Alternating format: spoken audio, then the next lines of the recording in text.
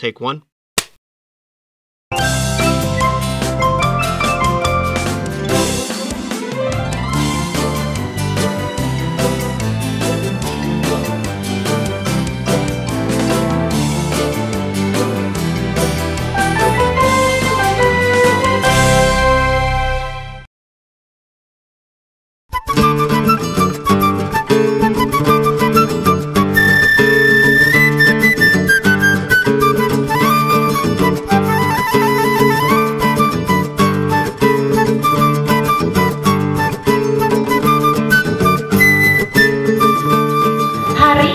Memang teman-teman ya Lifeboy mengundang Anda untuk secara langsung dapat menyaksikan eh, kemudian juga dapat mengikuti bagaimana implementasi dari gerakan 21 hari Lifeboy atau G21H ya. Nah, eh, ini memang sebetulnya adalah satu gerakan yang eh, dilakukan di eh, sekolah-sekolah binaan Lifeboy. Kalau boleh saya bercerita sedikit mengapa gerakan 21 hari. Tahun 2004 Lifebuoy memulai kampanye Lifebuoy berbagi sehat. Kita memulai journey kita untuk meningkatkan kesadaran akan pentingnya cuci tangan pakai sabun. Nah, oleh karena itu kita merumuskan namanya gerakan 21 hari. Terus menerus selama 21 hari konsisten melakukan hal yang sama sehingga berdasarkan data yang kita miliki dan penelitian di hari ke-22 itu telah menjadi eh, suatu kebiasaan. Tokohnya siapa? Dan pesannya apa? Ya. Maksi, pesannya apa? Cuci tanganlah sebelum makan siang. Berarti kamu mendapatkan satu poin lagi. Tepuk tangan buat Serlita.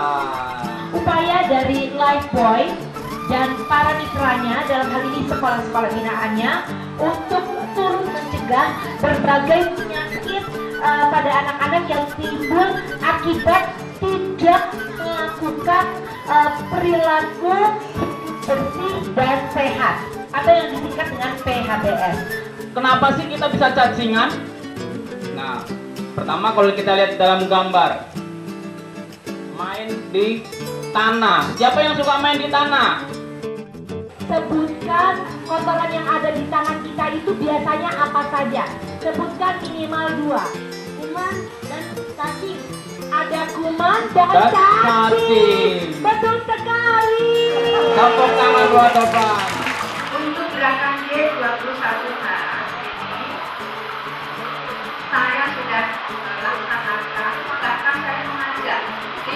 sekolah di sekeliling Pondok Labu ini untuk saatnya bersama-sama melaksanakan G21H ya kalau dihitung jumlah muridnya mungkin ada 7.500 ya Pak selalu ya. Kemudian G21H ini eh, sangat positif juga karena disambut baik oleh orang tua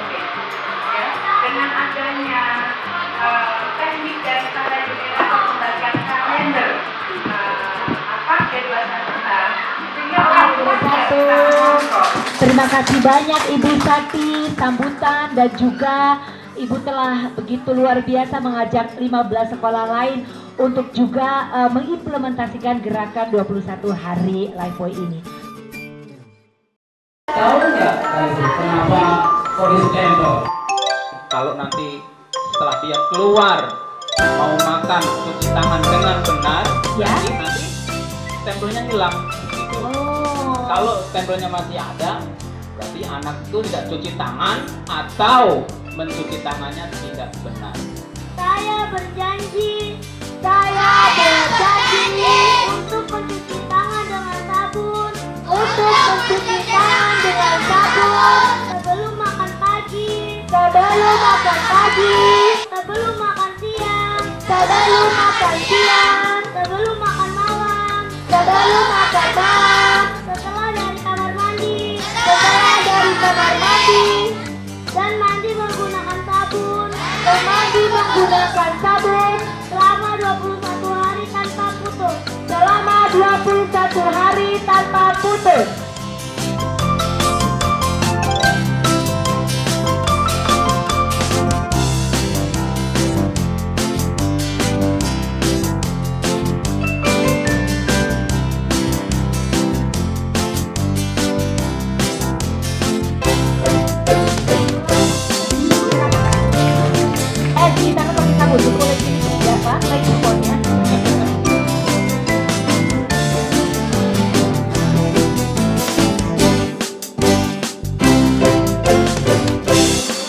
berdiri sendiri untuk melakukan ini.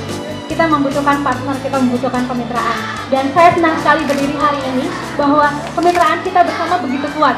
Sehingga hari ini kita bisa lihat sendiri bahwa implementasi gerakan 21 hari di sekolah seperti apa.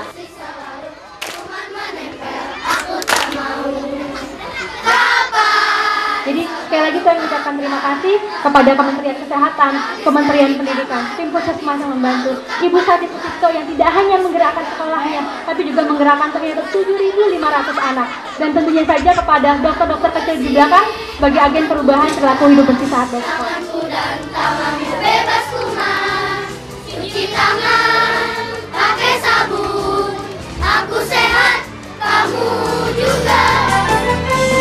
Terima kasih banyak, semoga kita terus bersama bisa melanjutkan ini bersama-sama. Terima kasih.